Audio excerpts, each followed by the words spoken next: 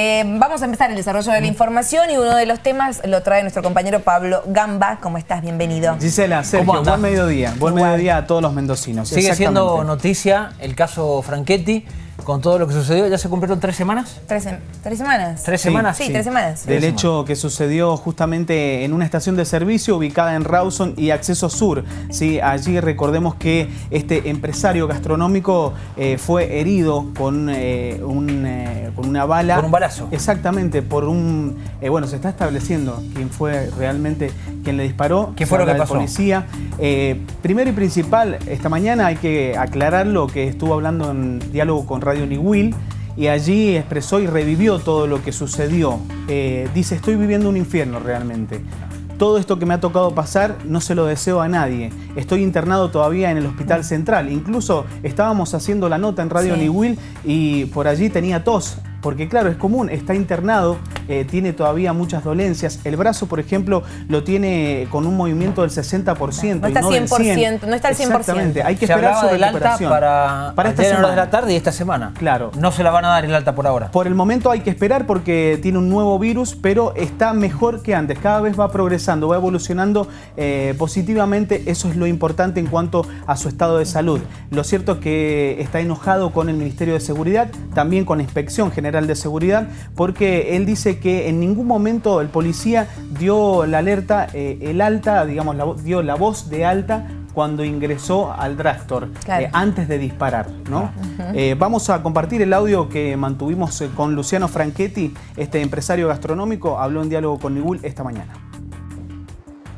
Cuando él me mete el tiro a mí, que dicen de que yo estaba dentro de la línea de fuego, como que estábamos justo en línea recta cuando le tiró a Pons. Ahí hay una confusión.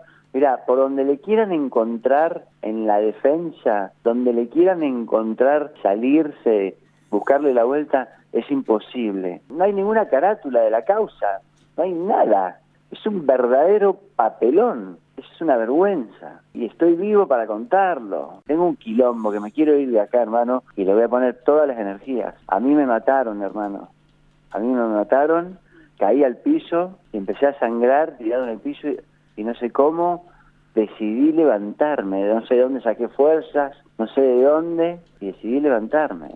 Más allá de lo que yo pueda contar, gracias a Dios tenemos un testigo privilegiado que estaba en mi camioneta viendo cómo su novio bajaba a comprar un chocolate y una gaseosa, entró un policía y le sacudió un tiro por detrás. Esto es una parte del audio esta mañana en Radio New Exactamente, ¿qué es lo que también podemos aportar en cuanto a la información que dio esta mañana Luciano Franchetti? Que él ingresó al drugstore y cuando ingresa, ¿se acuerda que yo le había contado que de repente la empleada del drugstore eh, salió corriendo del lugar cuando vio al malviviente? Bueno, él lo que dice que cuando él ingresa, cuando Luciano Franchetti ingresa a este drugstore, eh, este servicompras de la estación de servicio allí en Rawson y Acceso Sur, bueno, no encuentra ya a la empleada en el lugar. Ya se había ido la mujer había ido del lugar y estaba, sí, el delincuente revisando la mercadería, ¿sí? Entonces, mm. Franchetti dice, lo confundí con un empleado ah. del Servicompras. Nunca imaginé que era el delincuente. Y de repente recibí el disparo, que ingresó por el tríceps y luego atravesó el hígado y salió por el abdomen. Entra por el codo. Un solo disparo fue. Un solo disparo, exactamente. Allí cae al suelo y bueno, luego piden la asistencia porque luego la pelea continúa fuera en el playón donde finalmente eh, muere este delincuente producto también de un disparo de la policía. Dos disparos efectúa el policía. Uno, el primero, queda en el codo de Franchetti y le, lo termina lesionando.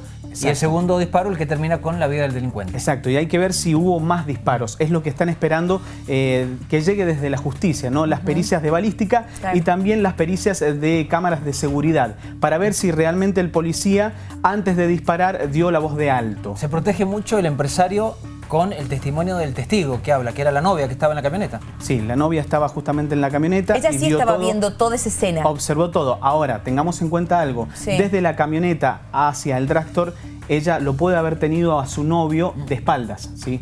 Entonces ella por allí es lo que decían. No sabemos si tenía o no un arma eh, el delincuente en ese momento porque ella no lo vio. Bueno, son ¿Pero se encontró un arma? No, nunca. Exactamente. No se encontró nunca un arma. Lo que hay que aclarar es que están esperando estas próximas horas eh, para que llegue esta pericia de balística y también de cámara de seguridad. eh, para ver si hubo también más disparos en el lugar, si el policía disparó en legítima defensa. También eso hay que dejarlo en claro, pero pudimos hablar con Marcelo Puertas, que es el director de Inspección General de Seguridad. Esto nos decía respecto a la investigación. Eh, en relación a ello, estamos esperando que hoy día vamos a tener acceso de acuerdo a lo que se había comprometido la justicia a las pericias de balística y también inclusive a las filmaciones, a los fines de determinar la responsabilidad que sí existe por parte del personal policial. ¿Por qué ha habido tanta demora teniendo en cuenta que ya llevamos varios días desde que sucedió el hecho? Y la demora estriba en que la prueba la tiene la, la, el Poder Judicial, la Fiscalía. Y ellos son los que nos tienen que autorizar el acceso a esa prueba. Llámese la pericia balística, la que va a determinar cuántos disparos se realizaron, cuál fue el derrotero de esos disparos, si fueron los proyectiles, cuántos fueron los proyectiles, dónde terminaron, y también la pericia de las cámaras. Director Luciano Franchetti esta mañana en Radio Niwil eh, manifestó que estaba enojado tanto con la Inspección General de Seguridad como autoridades del Ministerio y afirmó que la policía nunca advirtió ni dio una voz de alerta antes de disparar. Eso lo vamos también a, a visualizar con las cámaras. El, porque hay cámaras no solamente adentro del dragstore, sino también hay cámaras del playón.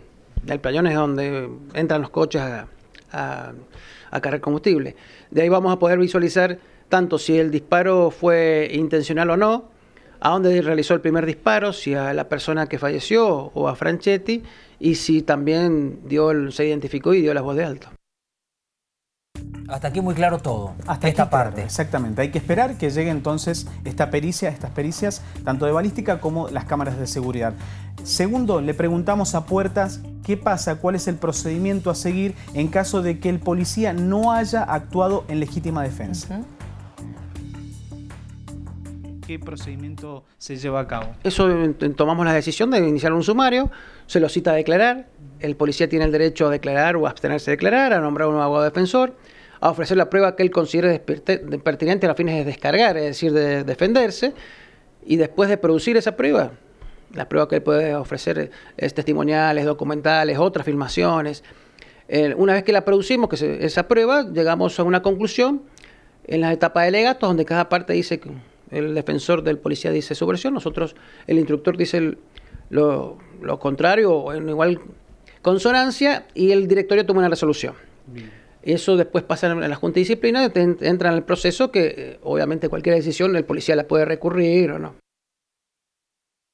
¿No? Claro. Habrá que esperar qué es lo que sigue aconteciendo en la investigación y en todas las pericias que todavía quizás restan conocer para determinar el accionar de este efectivo. Las pericias llegarían en el día de hoy. Hoy ¿sí? debería tener Bien. todo sobre la mesa. Hoy tendría que tener todo Puertas. allí, exactamente, uh -huh. el director general de inspección. Videos de afuera del playón y videos internos. Las cámaras de, de, la estación de, servicio no... Por el momento no tenemos no. información respecto a si andaban o no, ¿no? Desde la justicia indicaron que algunas no funcionaban, pero bueno, Un está tema. todo eh, en observación. ¿Cuántas cámaras hay? En cuanto al estado claro. de salud de Franchetti, bueno, esperemos que se recupere eh, pronto porque necesita salir del hospital, si bien lo han atendido, pero espectacular en lo que es el hospital central. Eh, dice, no aguanto más, necesito salir, necesito salir afuera porque estoy viviendo realmente un infierno con todo lo que me ha tocado pasar. Totalmente. Muy completo. Gracias, Pablo. Gracias, Pablo.